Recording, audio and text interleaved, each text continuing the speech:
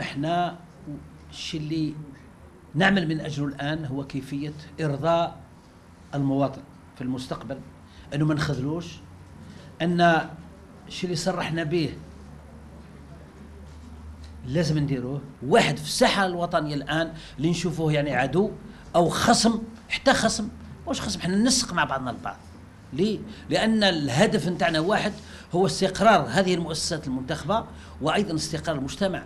والعمل من أجل تنمية حقيقية. وبالتالي إحنا ننسق مع الجميع